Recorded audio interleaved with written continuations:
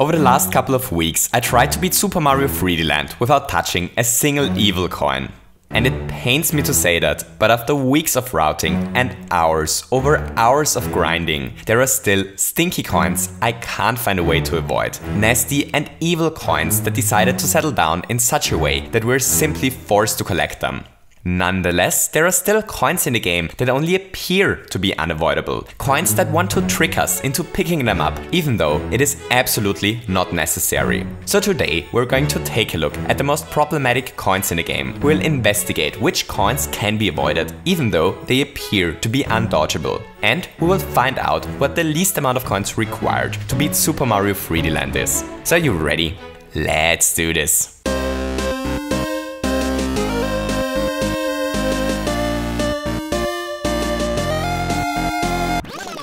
So the way I attempted to route this was by first playing through all stages once and to take notes which levels contain evil coins that we can't avoid by simply platforming around them. Luckily, most of the coins in the game can be easily avoided. As the name of the game implies, Super Mario 3D Land is well, in 3D. This not only gives us cool 3D visuals, but actually a whole new dimension for additional coin dodgery. Nonetheless, there are three spots in the game where at least at first glance dodging coins is completely impossible. A whopping 7 of them are located in 5-2, because the local coins there act like some sort of broken doorkeeper that tries to pay us if we want to enter a room. In 5-5 there are two enemies that live close to the flagpole, which can't be removed. And finally, there are four coins that settle down in a narrow corridor in 7-4. Those are all the coins in the game that don't have an obvious solution to avoid them. And those are the places that make beating the game coinless impossible. We will take a closer look at those spots in a moment, but first let's talk about coins in Super Mario 3D Land in general, because the game features a couple of problematic extra coin collecting mechanisms. First, the flagpoles at the end of each stage aren't our friends in this game, because whenever we touch a flagpole, we're punished with shameful coins. The only way to end a stage without any coin collection collecting accidents is by hitting the top of the flagpole, since the top of the flag rewards a delicious 1-up instead of run destroying coins. This alone wouldn't be much of a problem if it wasn't for another problem. When we touch a flagpole, all enemies that are close to the flagpole transform into unnecessary coins that are immediately collected. This means that we have to find a way to get rid of all enemies close to a flagpole, while still being able to hit the top of the flagpole. Sometimes that's surprisingly difficult, for several reasons. One of them is that Super Mario 3D Land features no normal enemies,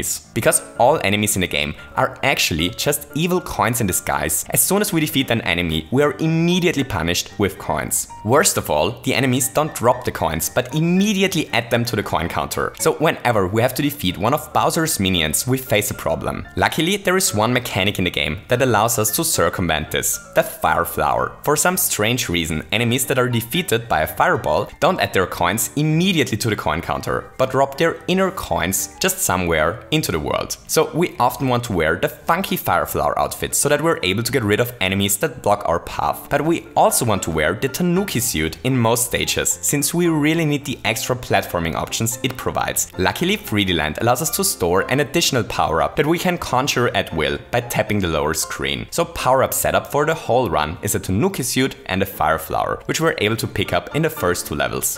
The next threat to our run is our old friend, the timer. As soon as we finish a stage, the seconds left on the clock show their true evil nature and transform into troublesome coins. Luckily, this is surprisingly simple to solve. The seconds transform into coins at a ratio of 10 to 1, so 10 seconds left are 1 coin. All that we have to do in a full run of the game is to wait at the end of the stage for the timer to be below 10 seconds, and then we're finally able to end each level coinless. Hooray! Finally, there is one more trick that comes in handy when dodging all the shiny troublemakers, the Tanuki wall jump. Wall jumping while wearing a Tanuki suit is incredibly powerful in 3D Land. It allows us to skip tons of obstacles in the game, and sometimes we're even able to sequence break complete stages because of the incredible height we're able to obtain by wall jumping into a Tanuki flutter. Okay, so that are the basics. Next, let's take a look at the Doorkeeper coins in 5-2. 5-2 is structured like a Zelda dungeon. The camera is always top down and we have to platform through different dangerous rooms. The problem here is that most doors are besieged by a bunch of worthless coins. First there are three coins in front of a small passageway, then there is one coin that blocks the path to the checkpoint, followed by two floating coins that made themselves comfortable directly in front of the doorway, and finally there are another two stinky coins on the ground in another doorway. The reason why those coins are so troublesome is because the passageways are so low that it isn't possible just to simply jump over the coins. Nonetheless, a couple of those coins can still be avoided. While it is not possible to just jump over the last two coins in this section, it is luckily still possible to avoid them. It took me a bit of tinkering, but a well-timed long jump gets the job done here.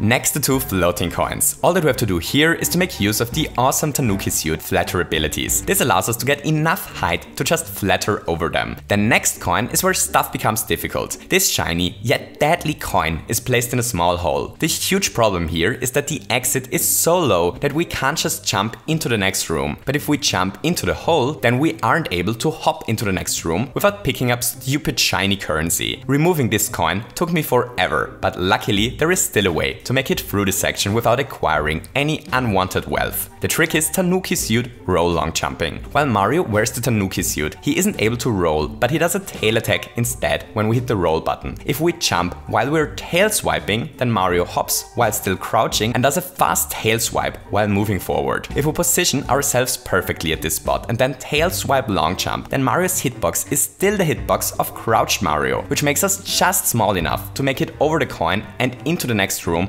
without bumping into the doorway. Hooray! Another coin down. Finally, the three coins at the beginning. Those sadly feature the first, actually unavoidable coin. The path here is so small that there is no way to walk past this section without eating disgusting coins. To make matters even worse, the doorway here is so low that there is no way to jump over the last coin. The coin's hitbox just completely fills the entry. The first two coins can be dodged if we take damage so that Big Mario transforms into a smaller self, because then Mario's hitbox is so small that long jumping over the first two coins becomes possible. But the last coin in this stage, sadly, needs to be collected. I tried to platform past this coin for about 2 hours, but as far as I can tell it's simply impossible to enter the next room without picking up this dumb coin. Our only chance to ever dodge this coin would be some crazy out of bounds trick, but unfortunately there is no known setup here that allows us to get out of bounds. So this is the first one we currently can't avoid. Before we take a look at the other two super complicated spots, let's first take a rapid look at a couple of other nasty coins that can be avoided somewhat easily.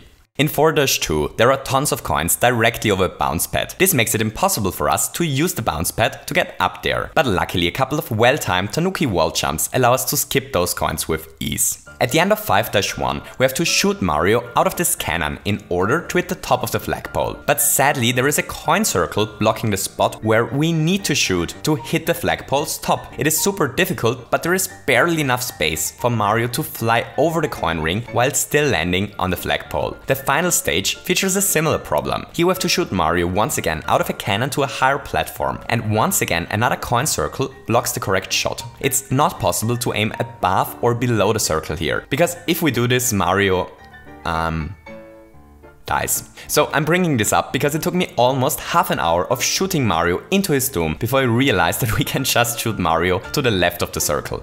Whoops, in 3-2 there are even more coin circles underwater that appear to be unavoidable at first, but as it turns out there is just enough room for Mario to waddle past them. Finally in 6-1 an infinite amount of Cheep Cheeps jumps out of the water, close to the flagpole. We can't end the stage while a Cheep Cheep is on screen, but there is no way to stop them from spawning. This took me a bit of tinkering, but it is solvable. All that we have to do here is to switch over to the fire flower outfit, then we have to drop a tanuki leaf in front of us, murder the fish as soon as it's spawns, switch outfit again fast and hit the top of the flagpole without wasting any time. If everything works out, we're so fast that no Cheep Cheep spawns before we officially end the level. Hooray! Okay, so next the super evil coins in 5-5. So the problem here is a bit complicated. Whenever there are enemies on screen, when we hit the flagpole, we're punished with coins. Sadly in this stage, a couple of flying beetles decided to flutter close to the flagpole. This means that we're punished with two coins as soon as we finish the level. The next problem is that we're forced to touch the top of the flagpole, because otherwise we're punished with coins as well. Okay, so we can't jump onto the enemies to defeat them, since that would grant us coins, which makes us grumpy. But we also can't finish the level while all the enemies are alive. The only only way to get rid of those enemies is by throwing fireballs towards them. And this is where this becomes so complicated. The thing is the following. The level is built around whirling around while wearing a propeller helmet block thingy. But the propeller block thingy is actually no power up, but a power down. Because while Mario hides his marvelous mustache inside this box, he's unable to throw fireballs. So if we really want to finish this stage with as little coins as possible, then we need to find a way to hit those beetle-like creatures with fireballs, which means we have to reach them without the block helmet thing. So how do we do this? Well, as it turns out, the block head thingy can be cut if we reach this spot, take damage on purpose to get rid of our head replacement and then raise this platform. Then we're able to flutter from here to this platform. It's actually surprisingly simple to do this. On this platform, we're able to quickly change outfit and to dress up for beetle destruction. And then, then we have to play Mario, as if it was Duck Hunt. If we place ourselves in the corner of the platform, then we're able to snipe most of the beetles by throwing fireballs towards them. This way, we're able to remove all enemies but the final one. I tried to shoot this final flying creature for more time than I'm willing to admit, but it sadly isn't possible to hit it from up here. The fireballs just despawn before they reach the enemy. Theoretically, it is possible to long jump from here while throwing a perfectly placed fireball, which would solve the beetle problem, but then we're stuck on this platform without a way to hit the top of the flagpole, which means we trade one stinky coin for another one. Sadly, here we are forced to pick up one coin of shame. Before we investigate the final super problematic coin location, we just quickly need to talk about something else. We need to talk about all the troll coins in the game.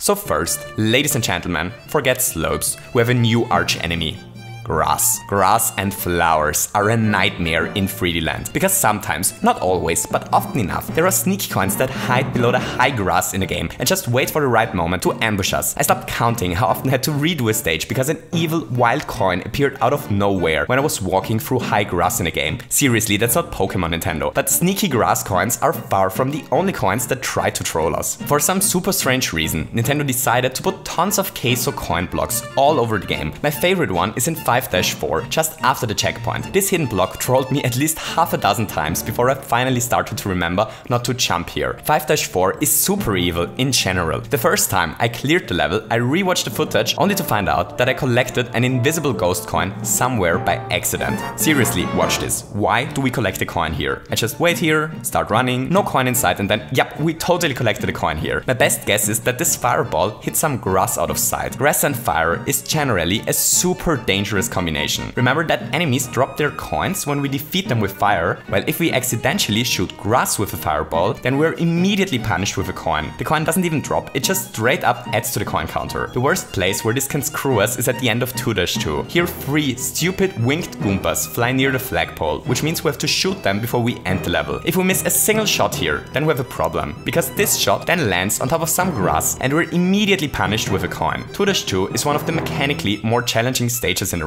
since we have very little room to dodge coins here. And because of this dumb grass, I had to redo the stage three times. Seriously, stupid grass. Anyway, one final spot is left for us to investigate, the hallway coins in 7-4.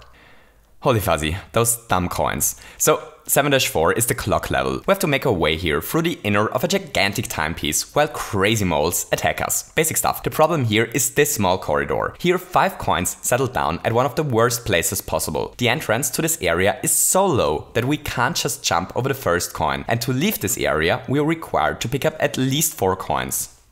So, as it turns out, it is possible to dodge all coins here, but the way we do this is a bit ridiculous. First we want to take damage so that we're small Mario. Small Mario is just small enough to jump through the entrance and over the first ugly coin. And then, then we wall jump and wall jump and wall jump. There is just enough space above the coins to wall jump here like a madman. Basically, if we want to dodge these coins, we have to wall jump like never before. We have to wall jump for lives. Each wall jump just brings us a tiny bit closer to the exit. This takes a while. But once we're close to the exit, we have to do the hardest wall jump of them all. It's not possible to wall jump off the corner here, which means that we have to slide down until we almost hit a coin. Wall jump, slide down again, and then do our final wall jump, and hooray! We just skipped all coins here. Those coins can actually be avoided. This means that there are only two coins required to beat Super Mario 3D Land. So the next time someone asks you why it is not possible to beat Super Mario 3D Land without collecting a single coin, Now you know the answer. It's because of this coin in 5-2 and because of this beetle thingy in World 5-5. If someone of you wonderful ladies and gentlemen has any ideas on how to get rid of those nasty coins, please let me know about it. Maybe there is something that I missed that allows us to actually beat the game coinless. For anyone who wants to see more coins not getting collected. Nico Barbecue just routed Super Mario World and Mayro recently made a really cool video about his journey to route 3D World with as little coins as possible. The link to both videos is in the description and I highly recommend checking them out. Though, be careful with Nico. I don't want to sound paranoid or anything, but his name is an anagram for coin. The link to the raw footage of me routing all the levels is in the description. With that being said, I hope that all of you enjoyed this little video. If you did, don't forget to leave me a thumbs up and maybe feel especially like jumping in between walls today and want to the subscribe button as well. I hope that all of you have a wonderful day and to see you soon. Goodbye!